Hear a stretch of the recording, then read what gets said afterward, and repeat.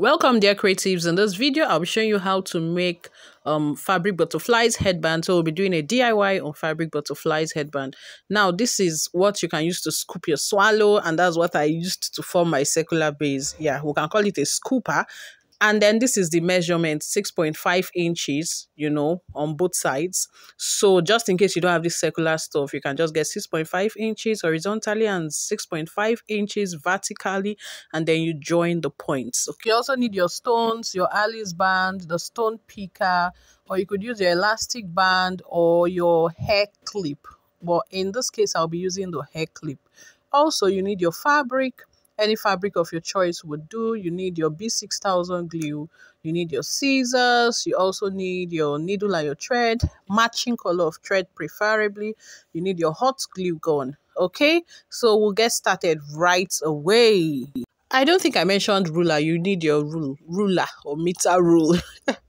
okay, so now we'll start by taking our measurements. I used 10 cm by 10 cm for the square shaped um, fabric and then the circular one like i said you can use your circular base that you have at home or you use your um tape to measure 6.5 inches by 6.5 inches. So now i'm going to place the right side facing each other and i'm going to stitch all around just this way. Okay i'll repeat the same thing and stitch in a circular pattern right side facing each other of my fabric and i'll be back Kindly note that while stitching, you will leave some space. You won't stitch everywhere completely so that you'll be able to turn it over. So I'll just leave just few inches, maybe one inch. Yeah, you know, just somewhere you can easily turn over and then stitch later. Or you just cut the center later. So I won't be leaving, in fact, I'll just cut the center at the end of the day and turn so that I can easily cover it up when making my butterflies. So at this point, I'm already done stitching round. Okay now I'm just trying to dog ear. Is it dog ear that it is called? Okay, nudge. i've tried to nudge, nudge all around so that um my material can, you know, be smooth and lie down properly. I don't know if you understand what I'm saying, but if you have any question, feel free to ask in the comment section and I'll do my best to answer. Right now, I'm trying to make a little opening at the center of my fabric so I can turn it over.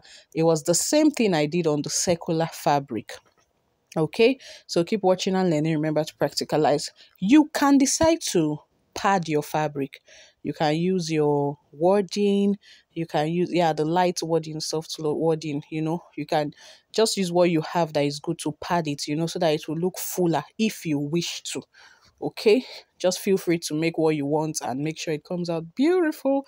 I would love to see yours. You can reach me through the number that is showing on your screen. You can send me a WhatsApp message. Okay, right now I turned it over. I'm going to use um my picker, the stone picker, to just go round it over like this. Like just keep pushing the picker into the fabric so that it comes out neater. Okay, so keep watching and learning. Remember to practicalize.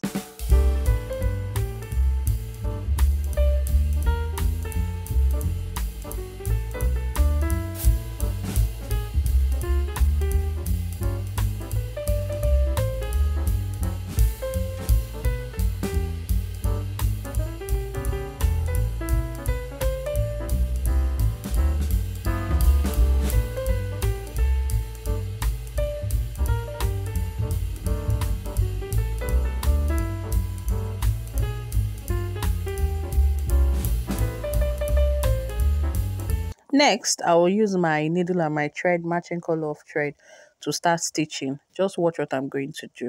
It is easy peasy lemon squeezy.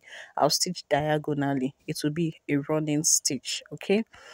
Now, there's a way I'm going to join it to the other one so that I don't need to stitch them separately. If you watch, you will understand. It is as easy, like I said. If this is your first time of coming to my channel, of stopping by, thank you so much. You are welcome. This is one big family. Oh yeah, hit the subscribe button. Hit the subscribe button, turn on your notification bell so you will not miss out on my weekly DIYs that I drop every Wednesday by 3 p.m. So now you can see how I formed part of the butterfly, right? I just stitched diagonally. Mm? Watch carefully i'm just trying to make sure it comes out neat like i'm trying to bring out the edges and smoothing it before I can attach the circular base. Okay. Now, if you are coming back to my channel, like this is not your first time of stopping by, thank you, thank you, thank you so much for coming back. Also, remember to turn on your notification button if you have not done that, okay? So that YouTube notifies you. Please, please, please, whether you're a returning subscriber or a new person that stopped by, please like this video, comment, share so that more people would get to see this video and learn how to make this butterfly headband too. Okay? Now, I'm going to attach the circular part. Can you see? Just watch how I'm going to do this. It is easy peasy, like I said. Now, when you're doing this, make sure at the same time you're trying to cover up that center, that hole you made at the center. Also, make sure that the hole at the center is not too big, you know, so that it, it won't be difficult for you to cover up. I hope you understand what I'm saying.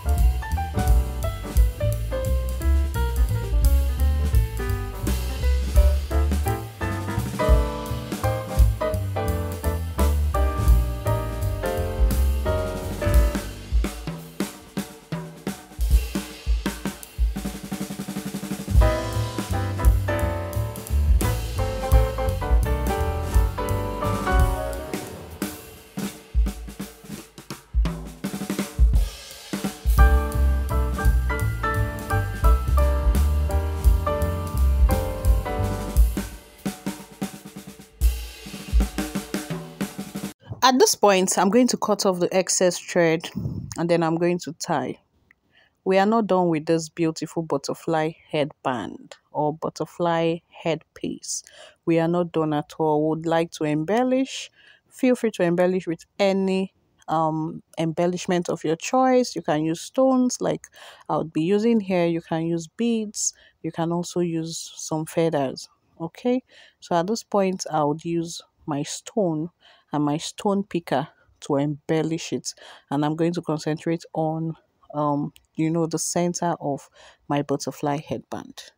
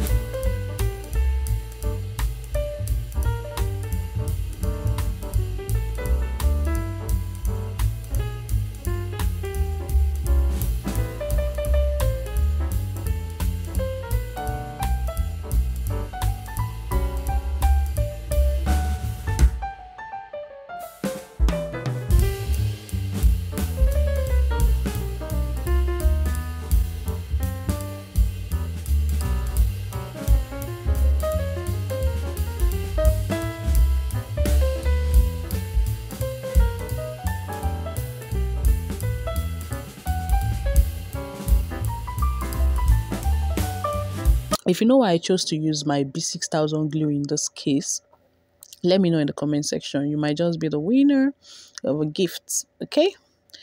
Then the next thing i'm going to do after attaching my stones is to do the final stuff. You will know when you keep watching. Keep watching and learning. Remember to practicalize